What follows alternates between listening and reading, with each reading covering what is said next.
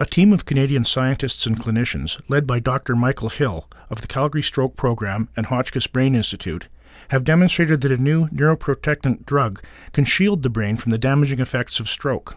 The landmark clinical trial, conducted at centres across Canada and the United States, has shown a reduction in the amount of brain damage caused by the small strokes that often occur in patients during surgery to repair brain aneurysms.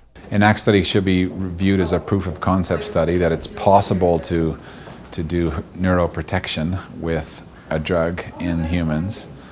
And specifically, what we did was showed that we could reduce the number of strokes that were associated with uh, endovascular aneurysm repair by 50%. The drug, TAT NR2B9C, was developed at Toronto Western Hospital by Dr. Michael Tymianski in more than 1,000 attempts to develop such drugs, this is the first to successfully make the leap from the laboratory to proven positive outcomes in humans. We took a very controlled situation, meaning patients um, who are being scheduled for brain aneurysm treatment, brain aneurysm surgery. In those patients, when we're trying to fix their brain aneurysm, but one of these side effects can actually be causing a stroke, where blood clots could actually be going up into the brain. The chance is low, but not zero. So what this study did was essentially take those patients, and after the brain aneurysm was fixed, half of the patients, by chance, got the drug, and half got a placebo medication intravenously. The next day, we did an MRI scan, and in those patients who had, um, who had the medication, they had significantly less strokes. Millie Nellis was one of the patients in the clinical trial who received the new drug before undergoing brain surgery.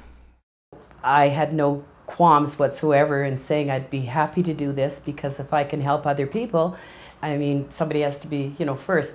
Now, I didn't know, and they didn't know whether or not I would get the placebo or whether I'd actually get the real NA. And what happened was the follow up after my surgery was incredible. They found that I had not had zero, any strokes. I didn't have a minor stroke. I didn't have a mild stroke. I was acceptable to them, you know, because I'd had, had previous ones. And also, too, because of the particular brain aneurysm and the surgery that I was going to have, it was pretty, you know, it would be pretty common that I would have strokes. So the fact that I had zero um, I, I absolutely, absolutely believe that this NA1 drug saved my life. While it will be some years before the drug is widely available, it is a promising breakthrough in stroke treatment. Um, a neuroprotectant um, may either protect the brain or reverse damage or buy us more time to do appropriate treatments. We have a great team here, and um, you know we've had support from the Hotchkiss Brain Institute, our department, Clinical Neurosciences, and tremendous support from you know, the Calgary Health Region and now the Calgary Health Zone throughout. And in fact, it's translated. We have great, uh, we have a good stroke program provincially. The Edmonton group is fantastic, and the uh, and and we've we've organized the province into through the Alberta Provincial Stroke Strategy to deliver stroke care, and we're we're trying to make it better all the time.